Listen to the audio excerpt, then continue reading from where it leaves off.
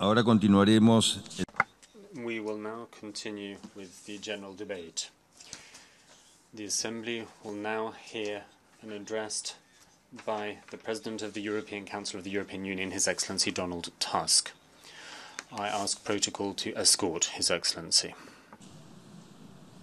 Tengo el agrado I have the honor and pleasure to welcome Mr. Donald Tusk, President of the European Council of the European Union, and to invite him to address the General Assembly.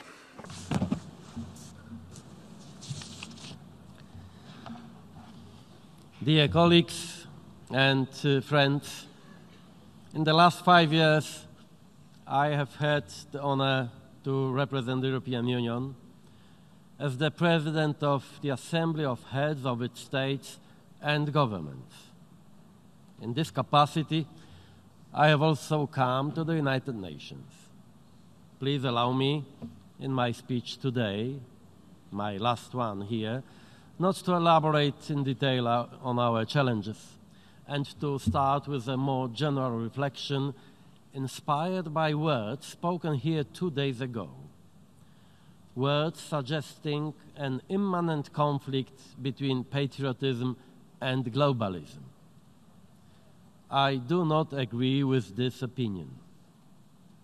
It is false and dangerous, even if it has many followers and powerful propagators. The very idea of the United Nations, just like that of the European Union, is de facto a heroic attempt to overcome such thinking. The patriotism of the 21st century must also have a global dimension if it is not to become, as has many times been the case, a common national egoism. The history of our nations shows how easy it is to transform the love of one's homeland into a hatred towards one's neighbors how easy it is to transform the pride of one's own culture into a contempt for the culture of strangers. How easy it is to use the slogans of one's own sovereignty against the sovereignty of others. I know that the word globalism doesn't sound attractive. Personally, I prefer the word solidarity, so important for me and for my nation. For my nation. In my political vocabulary, globalism and solidarity mean the same thing. And I am not talking about some naive ideology or abstract linguistics, but about concrete challenges and a chance for pragmatic solutions.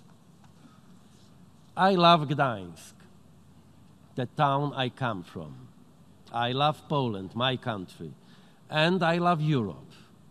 But even if we live in the most beautiful and most modern European city, our life can change into hell if we do not find here at the United Nations adequate solutions to global threats, such as armed conflicts and terrorism nuclear proliferation or the destruction of our environment.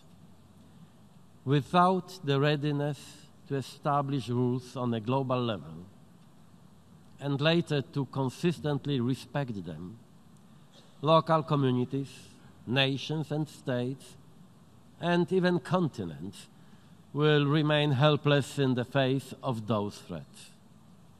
Let us focus for a short while on one of the threats the destruction of our environment, which has been at the center of attention in the last days here in New York. I have no doubt that we are in an environmental emergency. Microplastics are spreading in our oceans.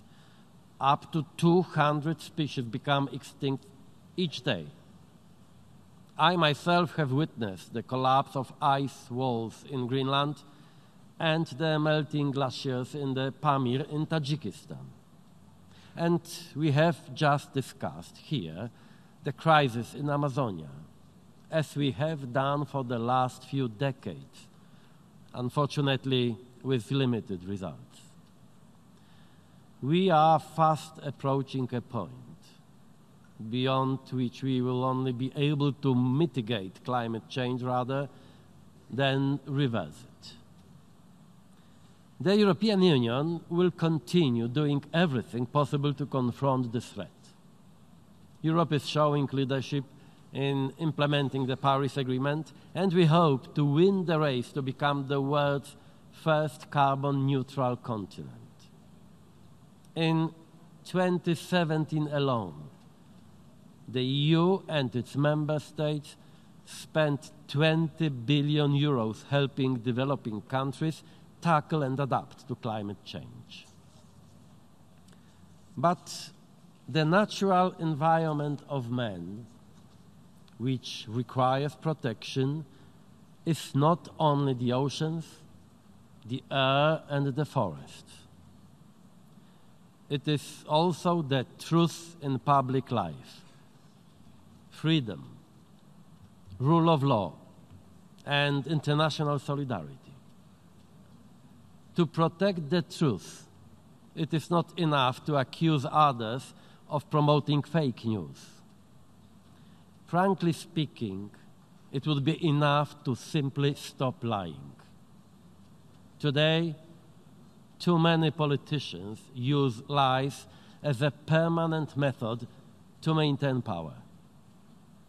To protect freedom, it is not enough to talk about it in speeches. You have to defend the rights of an individual everywhere and every day. You have to defend the freedom of speech and the free press. And you have to stop flirting with dictators and authoritarian regimes. To protect rule of law, you really have to accept that law should be above power, not at its back and call. If you want to follow the principles of international solidarity, you always have to help the weaker if they are attacked by the stronger and the ruthless, like in the case of Ukraine, for example.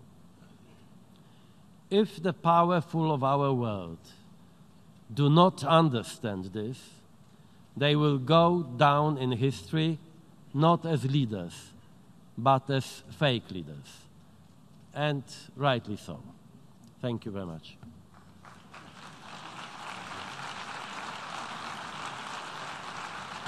En nombre de la Asamblea. On behalf of the General Assembly, I wish to thank His Excellency Donald Tusk, President of the European Council of the European Union, for the statement just made. And I request protocol to escort His Excellency.